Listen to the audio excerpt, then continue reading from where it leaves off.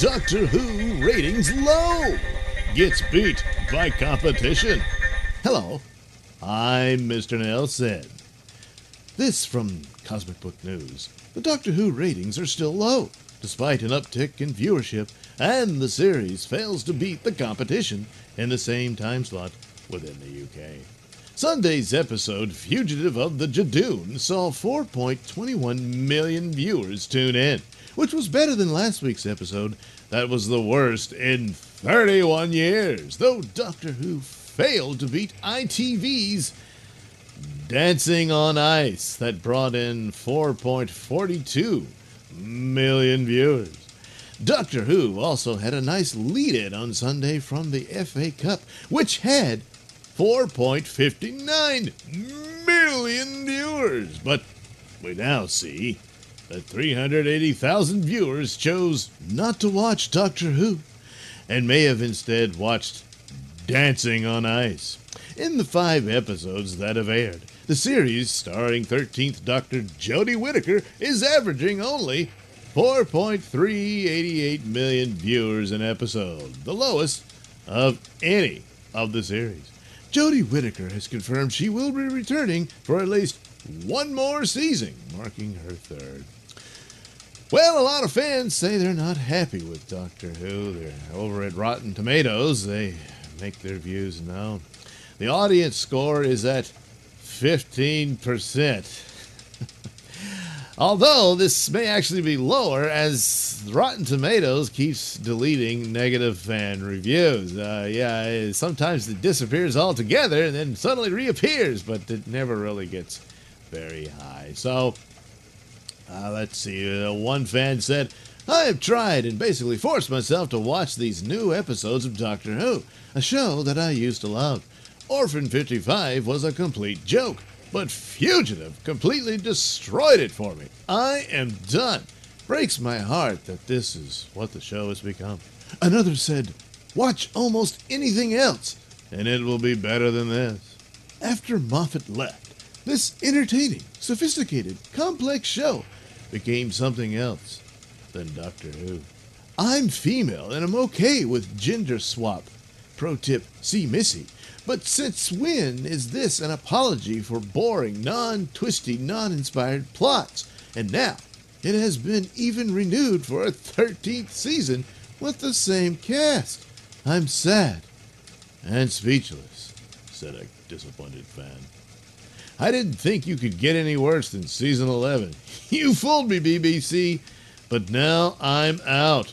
Rest in peace, Doctor Who, said another fan. Why did they even bother to make season 12 after season 11 was such an awful disaster? Toss these writers and give this doctor the chance to shine, recommended a fan.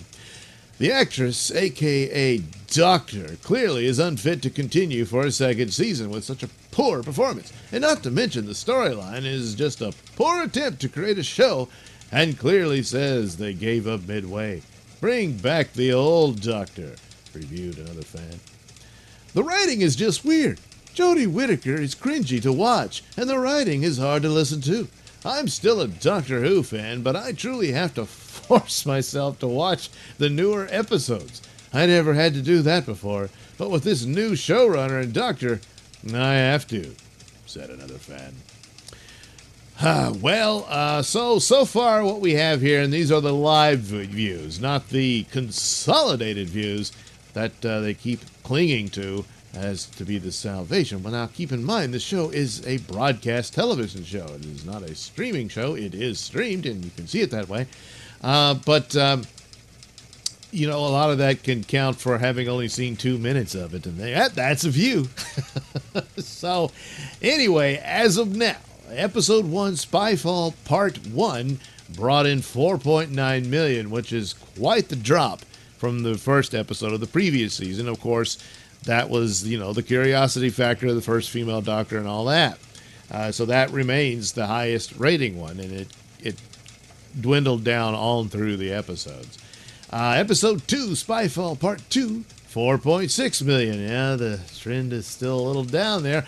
Episode 3, Orphan 55, 4.19. Well, little uptick there, huh?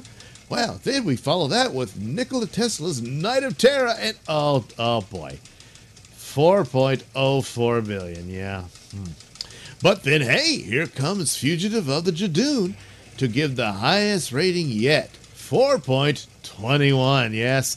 Uh, of course, you knew the Judoon would be in there. Uh, that brings back the most popular era of New Who being David Tennant. Yeah. And this show keeps trying to copy David Tennant in so many ways, most notably the Doctor herself. And it's not working. Uh, even rehashing plot lines and whatnot uh, from Tennant's day. No, you, that's not going to work.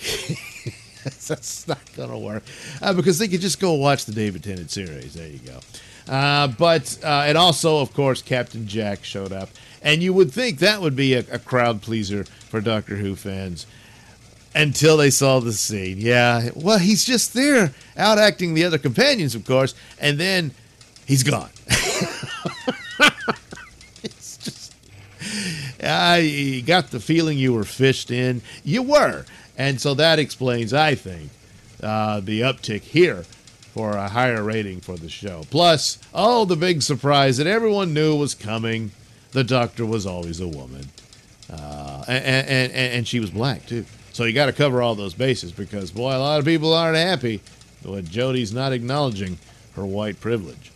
However, this uh, previous unknown incarnation of the Doctor had better have some sort of, uh, I don't know, ailment or what have you, because uh, maybe she's diabetic. I, I don't know. Because then the BBC would be guilty of ableism. Yeah. Yeah. Man, it's just so hard to cover all the bases, you know? Anyway, there you go, uh, Doctor Who. Gee, I, I, I wonder what's wrong. I wonder what's wrong. Why can't it get higher ratings? Why can't it at least get 5 million, you know? Well, it's a mystery. It's a mystery.